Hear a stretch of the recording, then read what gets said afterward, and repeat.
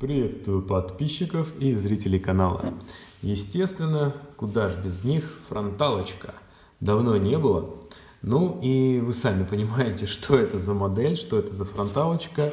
Но все же, да, это, ну, можно сказать, сайфер, если правильно э, я выговариваю название. Ну и э, я вам так скажу, что, наверное, из фронталок, которые сейчас продаются на данный момент, это самая интересная фронталка по дизайну и автоматически и сразу одновременно да, по сложности подхода к изготовлению, к времени, которое это все проводит в ЧПУ и так далее и тому подобное.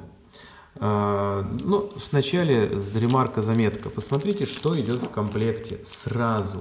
Винты, пружины и ключ. А, я вам так скажу, что китайцы их можно бесконечно ругать, их можно любить, не любить, там, э, ругать за то, что они делают подделки там, и так далее и тому подобное. Но знаете, я вам честно скажу, они делают ну, как бы то, что производители оригинальных ножей должны были делать автоматически всегда и сразу, с первых дней продаж. Во-первых, как бы можно было в течение года или трех продавать эти ножи за повышенную стоимость, да, как бы у тебя эксклюзив, у тебя новая модель, там это, то, пятое, десятое, все. Но потом все-таки по-человечески надо немножко поддерж... сдерживать свою жадность. Э, все же. Потому что после того, как они отбили за три года оборудование, наладку, пусконаладочные работы, дизайн и так далее, можно делать все-таки ножи уже за более адекватные деньги. Во многих, во многих бизнесах это происходит.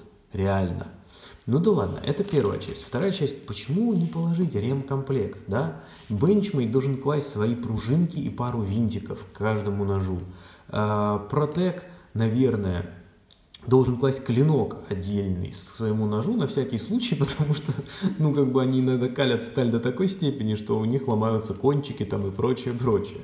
Вот. Но если что, это шутка была, но сам факт. Да? А, и опять-таки микротек должен класть что-нибудь, чем можно долбанный этот нож раскрутить и класть желательно пару винтиков, которые все-таки срываются, и пружиночки.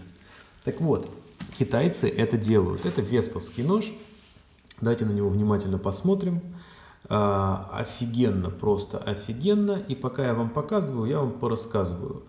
А, Вначале э, были какие-то отличия, там, знаете, по винтам, там еще как-то. Сейчас здесь все настолько точно изготовлено, что отличий минимум. Дело в том, что я не так давно держал в руках оригинал, буквально два дня назад. И, блин, вы просто посмотрите, да, то, как сделано вот это вот место. То есть вот это вот, вот это, вот это все, вот как оно все совпадает четенько. Так вот, Держал в руках оригинал, э, проверил его специально на люфты, на то, как он сделан. Э, скажу так, так, значит, в чем разница с оригиналом? Конечно, она есть.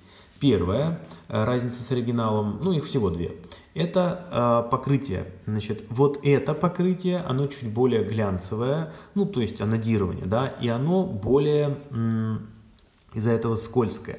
То есть э, оригинал анодирован чуть более шершаво, и поэтому он менее скользкий. Но э, с точки зрения практики, я так думаю, что это полная как бы, ну, бессмыслица, без разницы, потому что, ну, о чем мы? Да, как бы о предназначении этого ножа и целесообразности его нескользкости, я думаю, рассуждать бесполезно, все все понимают. Вот. Дальше, следующий момент – это сведение. Э, у ножа крупный клинок, реально крупный, то есть это в принципе не маленький нож от слова совсем, да, как бы вот.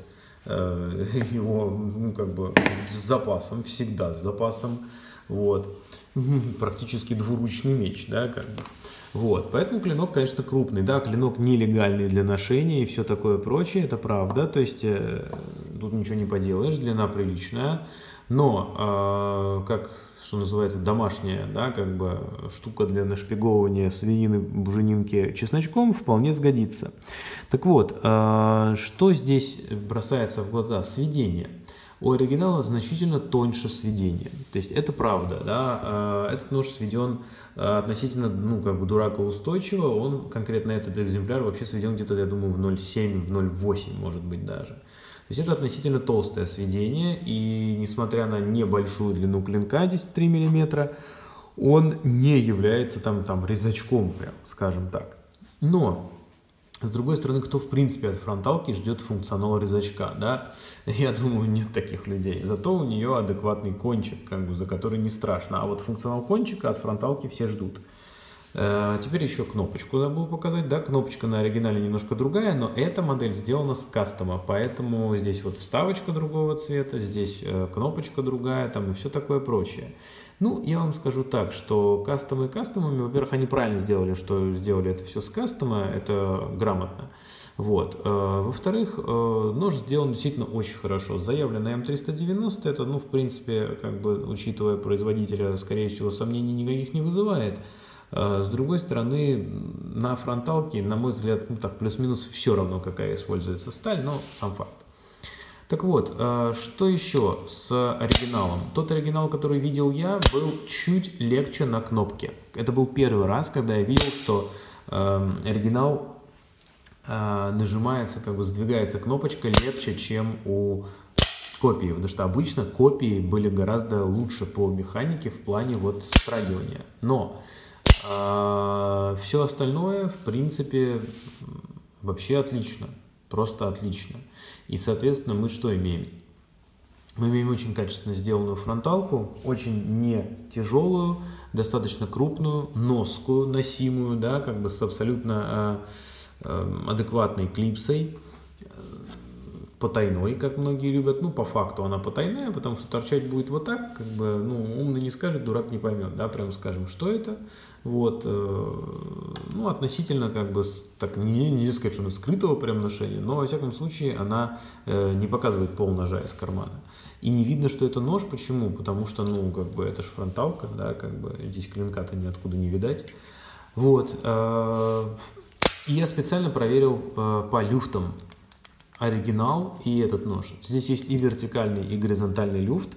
Э, в оригинале точно так же. То есть в оригинале тоже есть и горизонтальный, и вертикальный люфт, причем а, они э, ну, практически такие же. Практически люфты такие же. То есть может быть здесь горизонтальный, знаете, там ну, на пол миллиметра на кончике, да, как бы больше. Хотя его здесь в принципе нет э, в визуальном формате. То есть сейчас я прижму, то есть вот, да, как бы вот так болтается клинок чуть-чуть.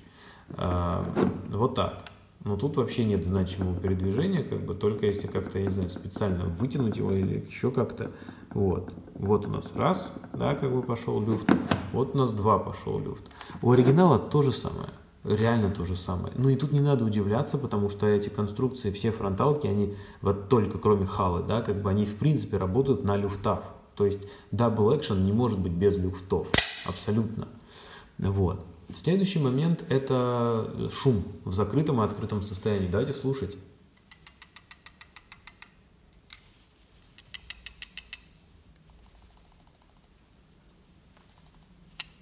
Значит, э, у оригинала точно так же один штифт здесь болтается, как бы, и его слышно. Вот он. Вот. Теперь в открытом состоянии. Оригинал, сразу говорю, не шумел. Ну и этот нож тоже не шумит. То есть по шуму, когда говорят, ну, погремушка, там э, отличий от оригинала нет. По люфтам э, принципиальных отличий от оригинала нет. Так что я думаю, что если взять, грубо говоря, 15 таких ножей, 15 оригинальных, сравнить их по люфтам, измерить, средние значения будут примерно одинаковые. Вот.